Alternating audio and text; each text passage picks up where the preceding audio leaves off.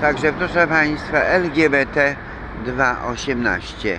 Zapraszamy serdecznie do Warszawy. Warszawa, tramwaj i Pałac Kultury Stalina i Lenina. I zapraszamy właśnie do Warszawy na festiwal LGBT.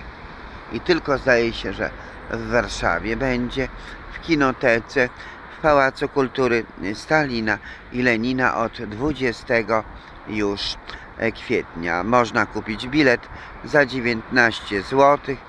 Proszę Państwa, za 19 zł, czyli nie za 20 i można już być na festiwalu. Zapraszamy serdecznie na rozpoczęciu, a 21-22 będzie Blady Shadows, proszę Państwa, w reżyserii Małga Kubiak.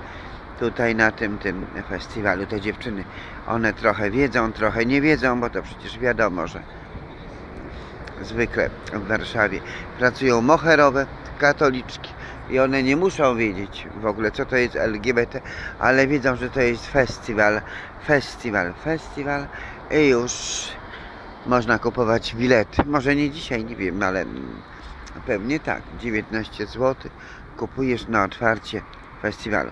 Także zapraszamy i do reklamy. Buziaczki, proszę jeść kaczki.